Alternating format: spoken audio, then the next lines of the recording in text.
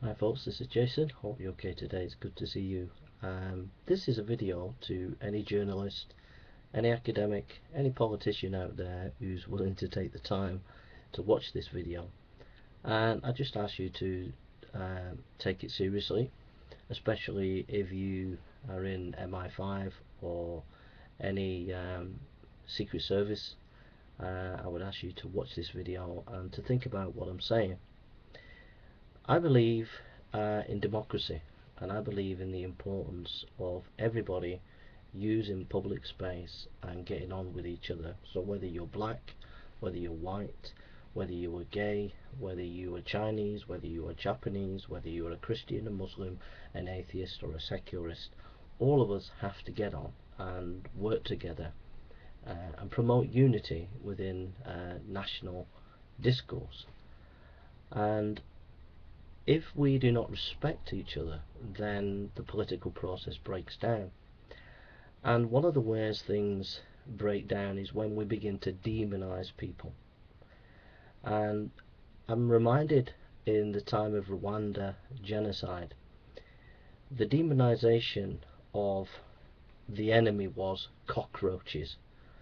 One group called another group cockroaches, and it was that word cockroaches, believe it or not, which was at the heart of the demonization of people in Rwanda. And you would see the opposing tribe going round saying, Where are the cockroaches? And then they would kill them, massacre them. You see, people have been dehumanized because of the demonization language. Now, a new movement the last 10 years has come, uh, the New Atheist, and they have used demonizing language they have said, such as Richard Dawkins, and we're going to see video clips of Richard Dawkins, a video clip of Richard Dawkins later, and he is demonizing people of faith as child abusers if they teach their children and name their children as Christian children and teach their children uh, six-day creation. Uh, we're going to see a clip of Christopher Hitchens demonizing people of faith as people of faith poison everything. And then we're going to see a clip of Sam Harris, who is saying, and has been saying, that people of faith are dangerous. And then we're going to see a clip of Thunderfoot, uh, an atheist on YouTube, who is constantly demonizing people and religions in his uh, video, which we're going to see. Now, whenever people start to demonize another group, there's a danger of violence on that group.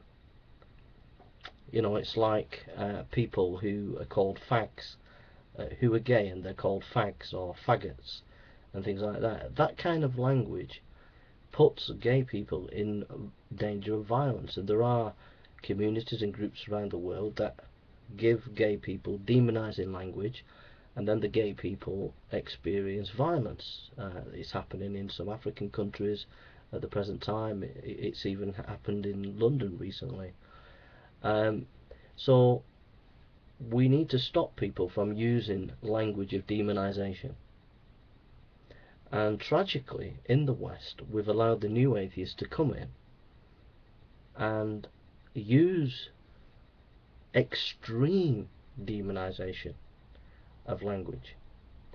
And that is preparing Western democracies for violence because in the next 10 to 20 years, people of faith will be so demonized that people will look at people of faith as not being human. Just like the tribes in Rwanda told, said about other tribes they were cockroaches, and then the people saw those tribes who were cockroaches as not being human, and saw massacre and genocide ensued and it's this kind of demonizing language. Christians are child abusers. Christians are are poison everything. Christians are violent. These are in major text of the atheist movement. It's that kind of language that will prepare the way for violence and even genocide against Christians in 10 to 20, 30 years' time if Western academics, Western journalists, Western public servants do not step up to the mark and say this kind of language is not acceptable in a democracy. I'm not calling to take people's free speech away. Atheists have a right, new atheists have a right to critique religion. I'm not saying that they shouldn't have free speech. All I'm saying is that there are atheists who are normal, average human beings, but then there are new atheists who are constantly using a demonizing rhetoric, and it's subversive and it's dangerous. And if we want to avoid violence on religious people in the next 10 to 20 to 30 years' time, we need to challenge this demonizing language and we need to ask people to respect each other, respect each other's beliefs, respect each other's opinions. Now, throughout this film, what you're going to see is a slice of uh, the Second World War rhetoric you're going to see clips interspersed with the new atheist, a clips of Nazis. Now, I'm not saying the new atheists are going to be Nazis, but what I'm saying is the Nazis used demonizing language for a number of years, 10 to 15 years, of demonizing Jewish people, demonizing them with words, and then the words turned into action. And it was because of this demonizing language that Jewish people were not seen as human. And then it led to their genocide. So you might think this film is extreme. Uh, that's okay. But if you think it's okay to demonize people of faith, if you think it's okay to demonize Christians, then you're going to be responsible for future violence on Christian people because they will not be seen as human beings but they will be seen as people open to attack because they're not human, because they've been demonized with this demonized language. Dawkins says in his clip in this video, Christians are child abusers.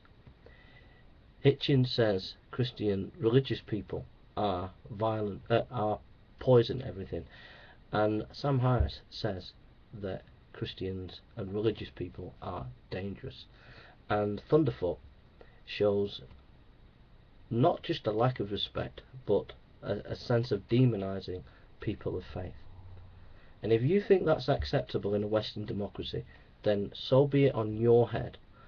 I have tried to warn people about this new atheism. I have come under threats, I have come under blackmail, and I'm making this last video. This is a press release to the people, the Western academics, and to journalists in the West, and to policymakers in the West and to YouTube to sit up and listen. If you want violence to come to religious people in the next 10 to 20, 30 years time, then don't listen to this video. But if you want to protect everybody's rights, atheists and Christians, and if you want to promote unity within your democracies, then watch this video and think about the question, is it right to demonize anybody? even people of faith. Thank you for listening.